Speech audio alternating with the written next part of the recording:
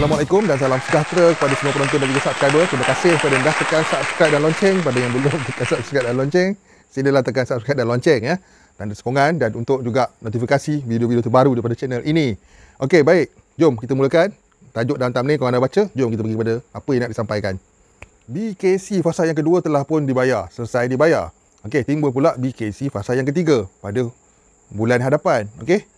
Jadi untuk bulan 11 ini tinggal beberapa hari saja lagi sebelum memasuki bulan 12 ya. Jadi uh, banyak isu tentang BKC fasa ketiga ni yang timbul.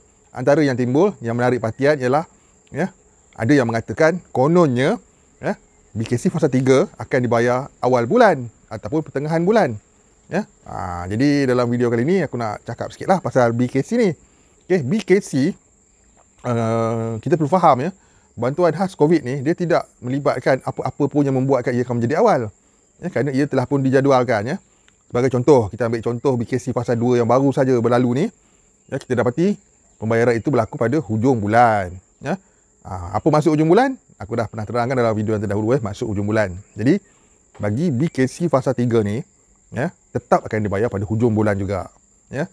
Ha, okay, ada yang mengatakan konon-kononnya kerana pilihan raya negeri Sarawak ya, yang akan berlangsung pada bulan depan, bulan 12, akan menyebabkan faktor ya, pembayaran BKC diawalkan. Jadi tidak, eh tidak.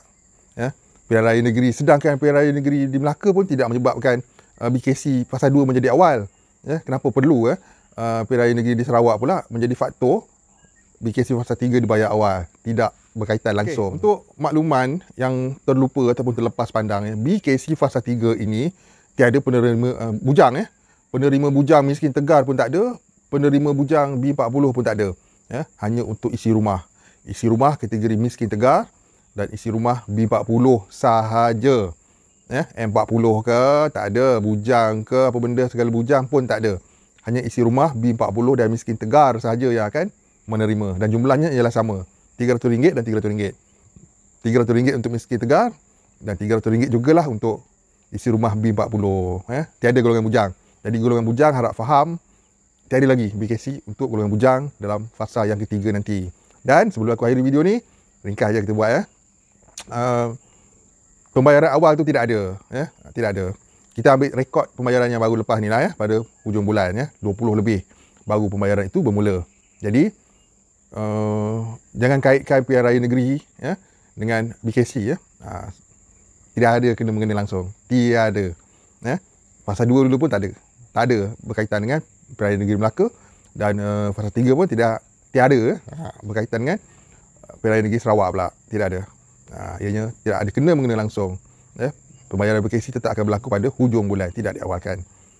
Okey sekian. Harap maklum dan itu saja. Untuk pemahaman dan kefahaman kita bersama ya jadi untuk BKC fasa yang ketiga ni ramai yang akan menerimanya sebab B40 mendapat sekali. So akan ramailah menerimanya ya 300 dan 300 300 miskin tegah 300 B40 isi rumah. Quote guys tu isi rumah. See you guys in my next video. Assalamualaikum. Salam sejahtera. Salam hujung minggu. Salam hormat semua. Bye bye